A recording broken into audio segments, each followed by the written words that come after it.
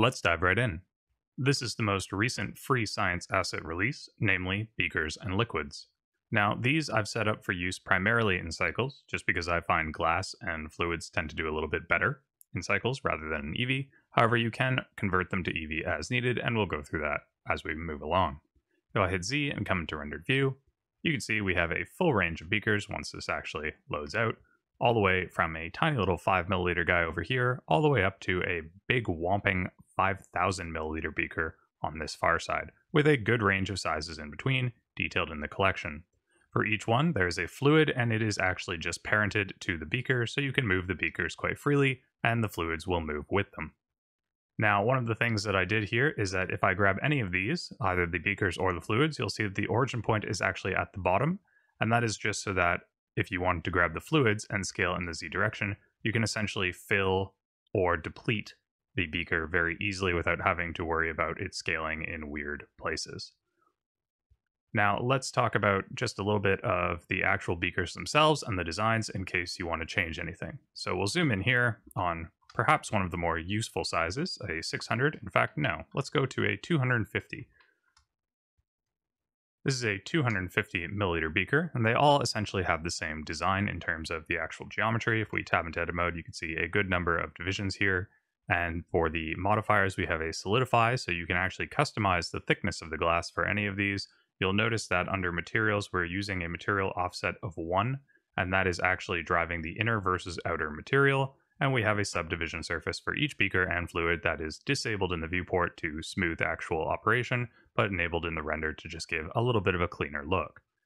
When we actually assess what's going on with these, you can see it's mostly in the materials. So we have these nice little panels on the front.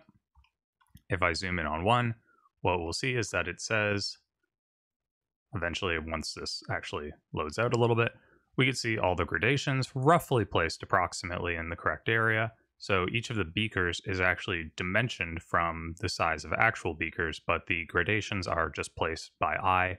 And if we look, we can barely make out here. I'm actually going to change the color, but we can barely make out the size of the beaker. A small amount of text here that says made in Blender. I was going to put Pyrex under each one, but I'm not really sure about the legality of doing that, given that Pyrex is a trade name. So for now, it just says 250 mils and made in Blender. On the bottom end here, it says number 2901 for 2.90.1, the version of Blender this was made in. And I'm going to go ahead and change the material here so that that's a little bit more apparent. So each beaker works on the same basis. The base glass material is in the one slot. So this is what the Solidify is using on the interface.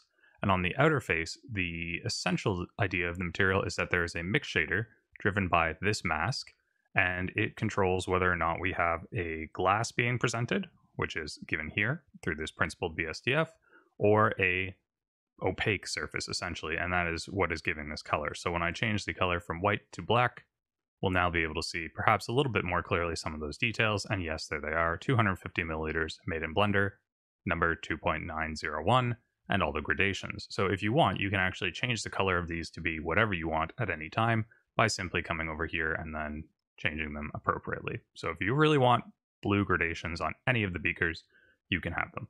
I leave them as white or black usually just because that's what you typically see in labs. So we'll go back and we'll drag that all the way down and we'll keep that as white. When we come and actually look at a little bit of the node network for this, what we can see is it's very, very simple. We have a mixed shader connecting those two. So again, this is the one for the actual color. This is the one for the glass. And there's a texture up here. All the textures are saved into the blend file, so you will be able to access them. And I'm going to very quickly show how this works in case you wanted to change something about this. You know, you really want to place the gradations more securely. You're not happy with how thick or thin the text is. So we're going to open a new window, come to the UV editor, and I'm simply going to tab into edit mode and select every face. So you can see I've done this a little bit crudely with UV maps. Everything that is not being used, so all the areas that are glass are over here, and all the areas that I want to actually have masked are the relevant areas in these places. So simply to select one of those, deselect everything with Alt-A, scroll over the box that you actually want to manipulate. So let's say I want this to be different, and then hit L, and L will let you grab that. So once you've done that, we can actually zoom in a little bit I'm going to change the color back to black so that we can see what we're doing just a little bit better. And then all you would do is in the UV viewport window, scale or move this. So if I hit S and Y, you can see I can now scale that and make it very squat, or I can scale it in and stretch it out a little bit. I can also hit S and X and make this narrower or wider, depending on how I want that to look.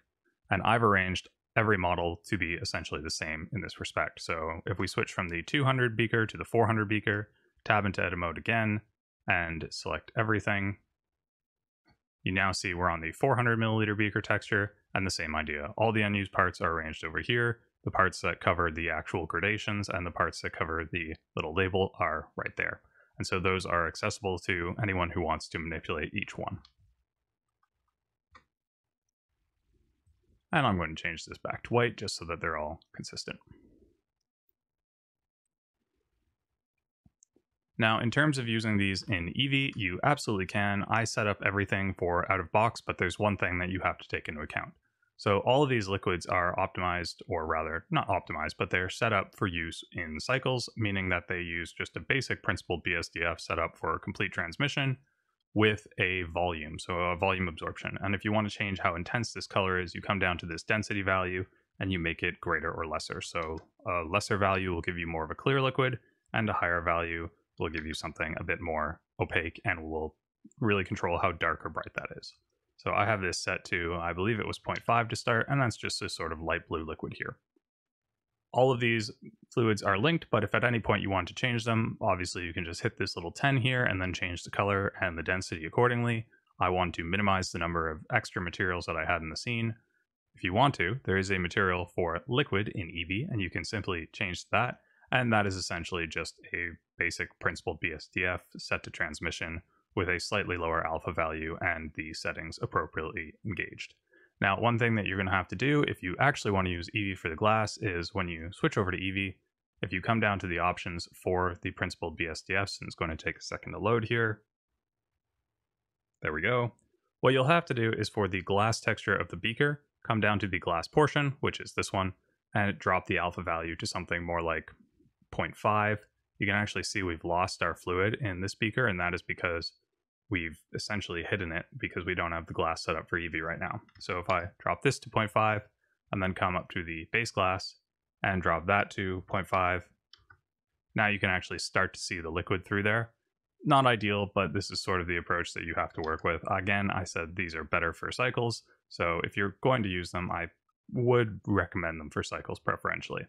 That wraps up the walkthrough for this set of beaker models. In the future, I'll also be looking to add volumetric flasks, graduated cylinders, Erlenmeyer's round bottom flasks, essentially a full set of lab glassware that ideally you could use to either just showcase some of your work, plan your actual lab space if that's something that you want to do. Do note that these are not actually the dimensions of real beakers, they are just relatively scaled to one another, but because of how they're set up, you can shrink them down very easily to fit any scene. And with that, thanks for coming out. If you find these models useful, please consider subscribing, sharing with your friends and colleagues so others can make use of the models, and of course, until next time, you have yourselves a great old day.